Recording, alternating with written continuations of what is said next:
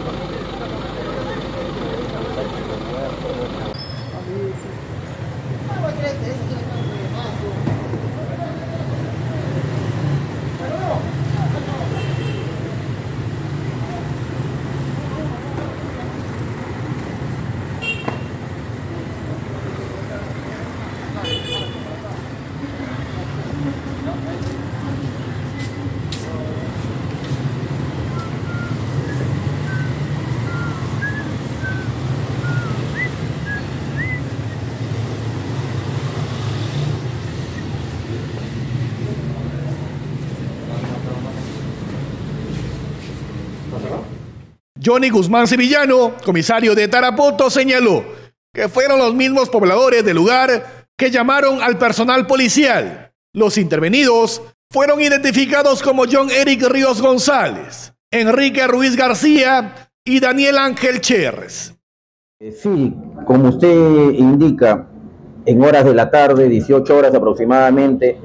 llamaron al personal de la comisaría ya que a la altura del Girón Ricardo Palma, la cuadra 14, los vecinos de la zona y también personal de serenazgo motorizado habían retenido a tres sujetos, los cuales eran varios, eh, que estaban, este, como quien le dice, iniciando una pelea, estos pertenecen a la barra de la U, iniciando una pelea con los hinchas del equipo de la Alianza Lima. Nuevamente, estos pandilleros, porque no hablamos de barristas, queriendo agredirse en, en ese lugar que es su zona de ellos, ¿no? Entonces esta situación ya le tiene harto a los vecinos, procedieron a prácticamente a, retenerlos en el lugar, apoyados con los motorizados de Serenazgo, ellos también este, lo han eh, retenido y fueron trasladados a la comisaría siendo identificados como John Eric Río González, de 25 años de edad, Enrique Ruiz García, de 20 años, y Daniel Ángel Cherres Ríos, de 20 años, los mismos que fueron trasladados a la comisaría,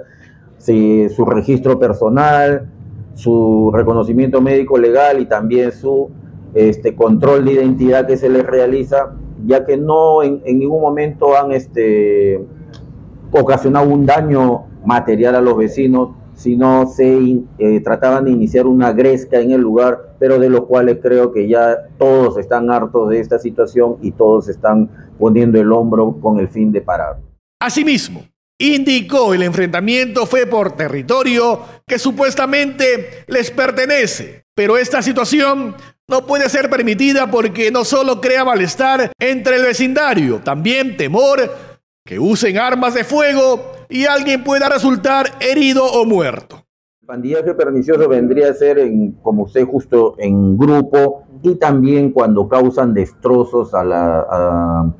daños materiales a las viviendas u otra situación. Estos, sino que estos sujetos se habían acercado con el afán de, armarle la discusión, como le digamos, armar la bronca ahí en el lugar, para luego, después, iniciado la pelea, es donde se producen estos daños materiales a la zona, ¿no? Y es por eso que eh, gracias a la oportuna intervención de los motorizados de Serenazgo que también habían llegado al lugar y también los vecinos solidarios, se ha podido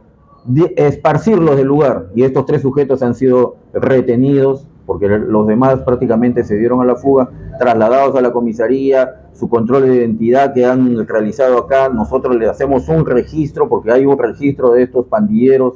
de los cuales este, ya se tiene reportado para cualquier hecho de alguna similitud que pueda dar. Finalmente, Guzmán Sevillano manifestó que si bien es cierto, estas personas detenidas no han causado daños a la propiedad privada, pero quedaron fichados por alterar al orden público, lo que podría sumarse en un futuro afectándoles su situación legal. Eh, digamos, no, quizás no hablamos de territorio, sino yo pienso que es una desadaptación que está dentro de lo que es la juventud, porque estamos hablando de muchachos, hay uno es de 25 años, 25 años que ya, ya no es muchacho, ya no es adolescente, ya no tiene esa, esa efervescencia que hay en la, en la adolescencia, donde les todavía su personalidad no lo definen, pero 25 años no sea, ya prácticamente es un sujeto que debe estar trabajando, ya debe estar produciendo por su país y tratando de mantener a la familia que pueda tener en, en ese momento en el hogar, ¿no? Entonces, es una desadaptación para mí, no hay cuestión de, de territorio en esa situación, simplemente son gente desadaptados que buscan notoriedad y no hay otra forma de, de buscar esta notoriedad mediante el trabajo si no lo hacen mediante hechos eh, de connotación social. Hay que invocar a la población que cada vez que este tipo de hechos inmediatamente que comuniquen a la policía. Sí, efectivamente se invoca a la ciudadanía que cualquier hecho, aunque ya tenemos ya bastante dentro de nuestro WhatsApp grupal que reportan los hechos que suceden siempre en la parte baja de Tarapoto,